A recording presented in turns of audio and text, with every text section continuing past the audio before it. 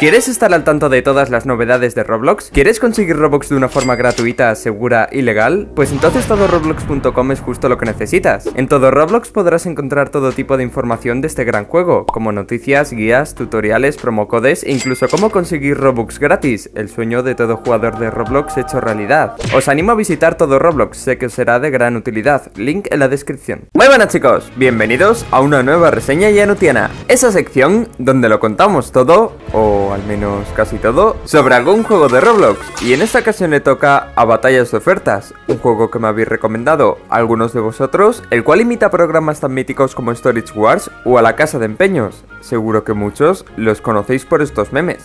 Ah, veremos qué sucede. Estoy un poco nervioso. Pues ya te lo digo, que comience la reseña. Prepárate muy bien porque esto es Reseña Yanutiana. Batallas Ofertas, un ticón en el que te puedes ir a la quiebra. Sin andarnos con demasiados rodeos, Batallas Ofertas es un juego del estilo Ticon. Cada jugador cuenta con su propio local y ahí es donde debe vender los productos que comprará en estos almacenes. A veces los venderás por buenos precios y otras veces los clientes te intentarán estafar. Aunque normal, con esa cara zapatilla, ¿quién no te iba a estafar? Pero bueno, lo importante es que para empezar a ganar dinero tienes que entrar a las subastas de almacenes. Ahí pujarás por tres almacenes diferentes y todo lo que consigas comprar te lo llevas para la tienda. Bueno, en verdad solo te puedes llevar dos cosas, lo demás tienes que venderlo por un precio algo ridículo. Pero los dos artículos que elijas te les llevas para la tienda y ahí intentas estimar a alguien para que los compre por un precio infladísimo. Venga, si cuela cuela y si no me la pela. Os habréis dado cuenta rápido que la mecánica del juego es bastante sencilla, comprar objetos en subastas y luego venderlos en la tienda por un precio todavía más alto, pero para no caer en bancarrota o en una estafa piramidal, primero habrá que entender cómo funcionan estas pujas, que es lo que vamos a ver ahora. Para entrar en estas pujas necesitaréis cierta cantidad de dinero, ya sea para pagar la entrada a la subasta o el dinero que necesitáis para poder pujar en ella. Pero bueno, hay muchos almacenes, o sea, que no os preocupéis, si estáis empezando o en algún momento perdéis la leche de dinero, siempre podéis ir a almacenes más baratillos. En estos almacenes pelearemos contra NPCs, aunque cabe la posibilidad de jugar contra otro jugador, pero esto es bastante raro. En estas pujas nos enseñarán tres almacenes, tendremos unos 5 segundos para ver todo su contenido y con este pequeño lapso de tiempo tendremos que decidir rápidamente si nos merece la pena o no pujar por él, aunque la mayoría de veces siempre va a merecer la pena pujar, porque los NPCs paran de pujar unos 100-200 dólares por debajo de su valor. O sea, que juega tela y puja, leñe. Y bueno, aquí cabe decir varias cosas. La primera es que los NPCs no van a ser siempre tan buena onda, y a veces van a intentar arruinarte. Con lo que fíjate bien en el precio de los objetos que hay en el almacén, porque si los NPCs se vuelven locos pujando, es que quieren arruinarte. Así que no pujes a lo loco. Lo segundo es decir que entre los objetos que se subastan, algunos están encerrados en cajas, con lo que no sabemos qué es lo que hay dentro. Y vale, mi colegio no me habrá enseñado conocimiento financiero, pero los Simpsons sí, dentro de la caja siempre hay cosas bonitas. Y lo tercero ya sería decir que hay un montón de almacenes diferentes para elegir. Algunos se pagan con monedas, otros con gemas y algunos solo están presentes durante un periodo concreto del año. Si entras en estas subastas, puedes llevarte cosas bien suculentas. Cada vez que acabe una subasta, podrás llevarte cierta cantidad de objetos entre lo que hayas comprado para por supuesto venderlo en tu tienda al mejor postor.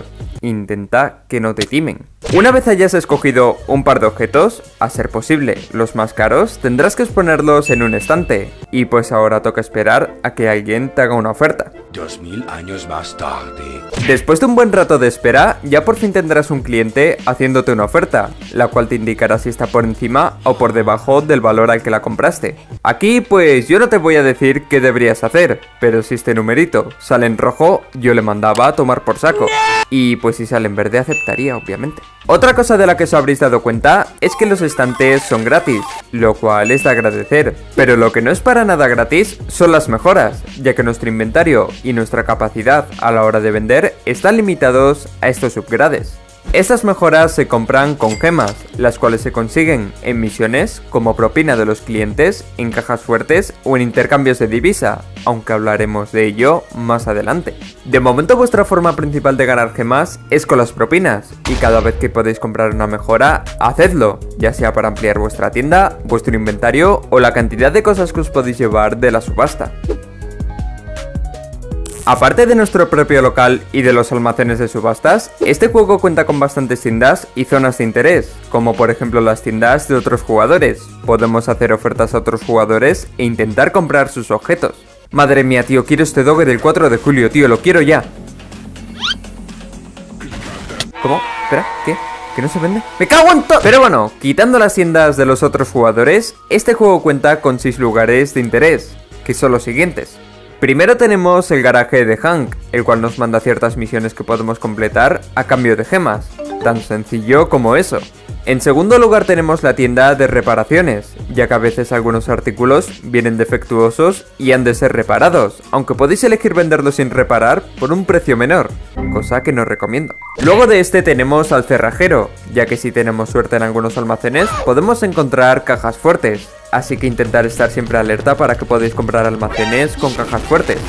En cuarto lugar tenemos la tienda de muebles. A cambio de unas cuantas gemas podemos actualizar los muebles de nuestra tienda. Cada actualización hace que te den más propina, así que no dudes en comprar en esta tienda siempre que puedas. Luego tenemos lo que llamo yo la tienda de no lo sé Rick, parece falso, ya que en esta tienda podemos verificar la autenticidad de un artículo, si es una falsificación o si por el contrario es una edición especial que aumenta su valor. Creo que sobra decir esto, pero si es una falsificación su valor baja drásticamente. A tu responsabilidad está si te un objeto o no, es jugársela un 50-50. Ah, y en esta misma tienda tenemos también la sección de mejoras. Con varios objetos iguales podemos actualizar a un objeto más valioso.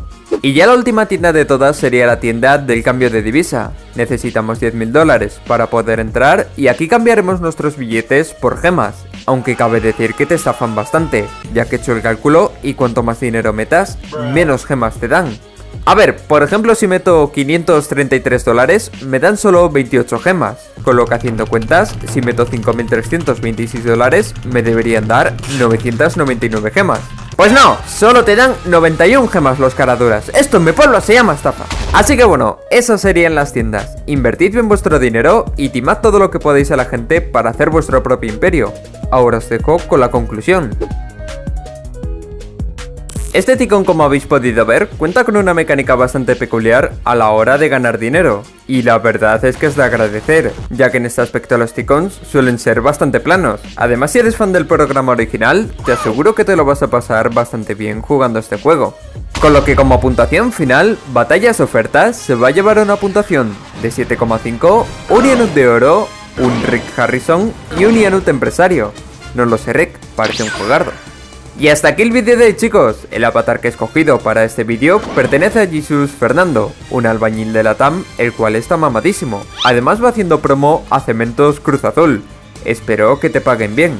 O al menos que te paguen algo. Buenardo avatar. Y como siempre, agradecer y mandar un saludo a Sony BC, Amir Hadri, Ivan Tubi, Helvete Winter, Ozig y Martinikix por apoyar el canal con su membresía de YouTube unos grandes.